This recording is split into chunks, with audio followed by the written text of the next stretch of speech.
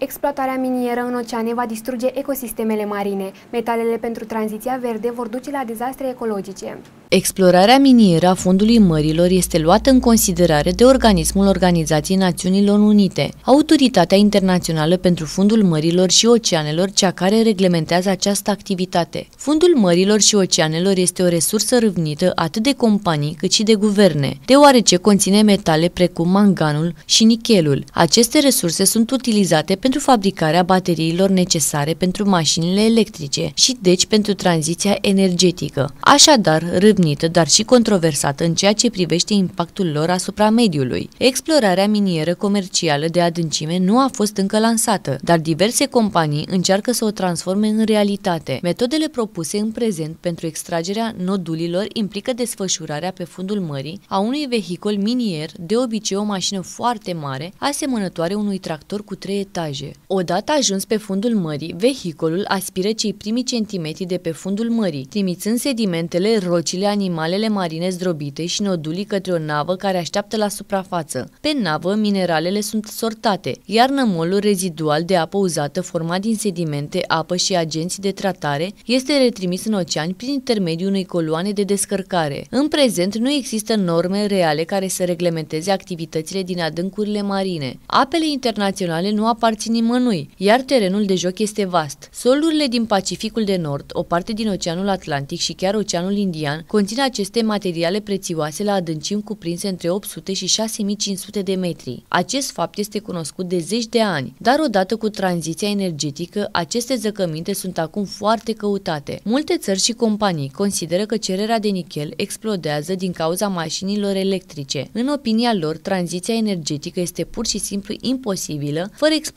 exploatarea fundului mărilor. Autoritatea Internațională pentru Fundul Mărilor și Oceanelor se pregătește să reia negocierile care ar putea permite exploatarea minieră a zonelor internaționale ale fundului marin, inclusiv a materialelor esențiale pentru tranziția energetică ecologică, relatează fanatic.ro.